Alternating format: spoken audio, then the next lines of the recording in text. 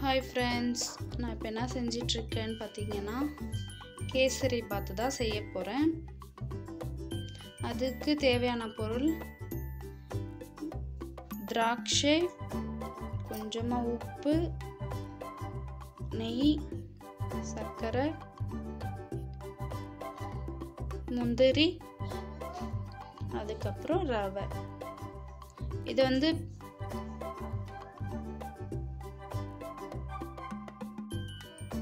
சிரோட்டி ரவை எடுத்திருக்கேன். இப்போ வந்து பேன் வந்து இது கடாய் வந்து ஹீட் ஆகிட்டு இருக்கு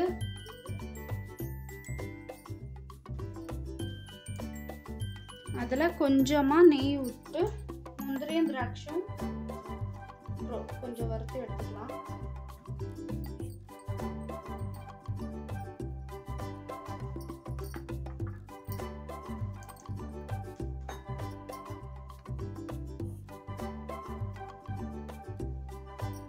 இது வந்து திராட்சை add பண்ணிக்கலாம்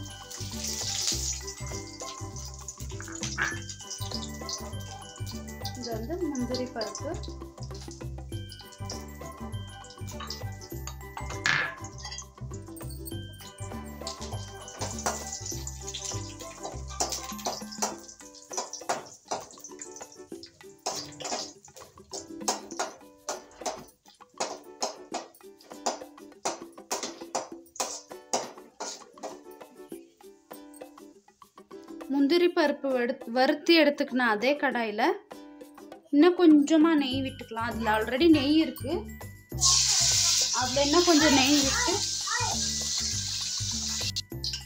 இப்போ வந்து நெய் வந்து ஹீட் ஆயிடுச்சு. இன்னும் கொஞ்சம் ஆட் பண்ண. அதில் நெய் ஆல்ரெடி இருந்துச்சு. முந்திரி வறுத்தது. அது கூட இப்போ வந்து ரவை ஆட் பண்ணிக்க போகிறேன் இது நல்லா கோல்டன் ப்ரௌன் கலரில் வறுத்து எடுத்துக்கணும்.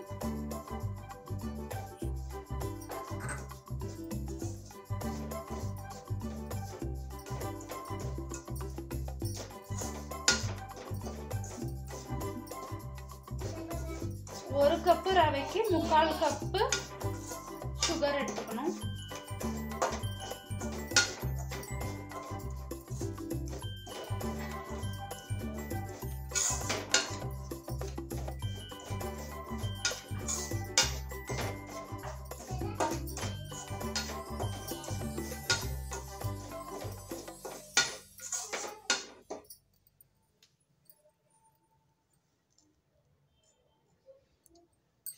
சிம்லே பாயில் பண்ணணும் ஹை ஃப்ளேமில் வச்சு ரோஸ்ட் பண்ண வைக்காதீங்க.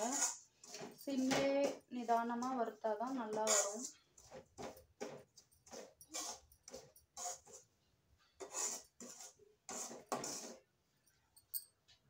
இந்த கப்பில் ஒரு கப்பு ரவை எடுத்துக்கணும் இல்லைங்களா? இதில் வந்து ரெண்டு கப்பு தண்ணி ஆட் பண்ணணும்.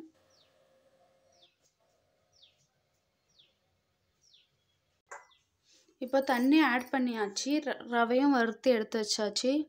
அதே கடையில் தண்ணி ஊற்றி வச்சுருக்கேன். அது தண்ணி கொதிச்சு கொதிக்கும் போது கொஞ்சமாக கலரு வறுத்து வச்சிருக்கிற ரவை சக் இப்போ வந்து ஃபுட் கலர் ஆட் பண்ணிகிட்ருக்கேன் ஒரு சும்மா ஒரு சிட்டிக்கை மட்டும்தான் ஆட் பண்ணும்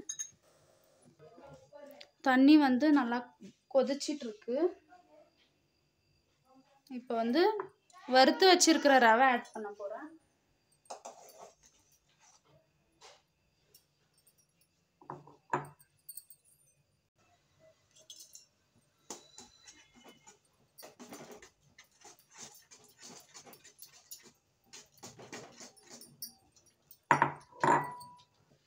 இப்போ வந்து முக்கால் கப்பு சுகர் ஆட் பண்ண போகிறோம் இதில்.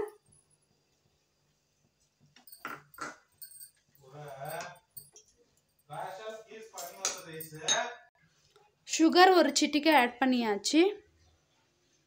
நல்லா மிக்ஸ் பண்ணிகிட்டே இருக்கணும் கைவிடாமல் சாரி சுகர் இல்லை சால்ட்டு ஒரு சிட்டிக்கு ஆட் பண்ணியாச்சு. இப்போ வந்து ஆஃப் கப் வந்து கீ ஆட் பண்ணிக்கலாம்.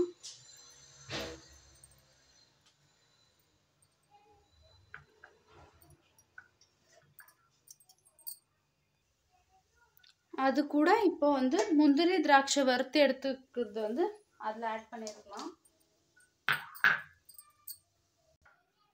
கேசரி பாத் தயாராகிடுச்சு இப்போ சாமிக்கு படைக்கிறதுக்கு எடுத்துன்னு போய் வைக்கணும்.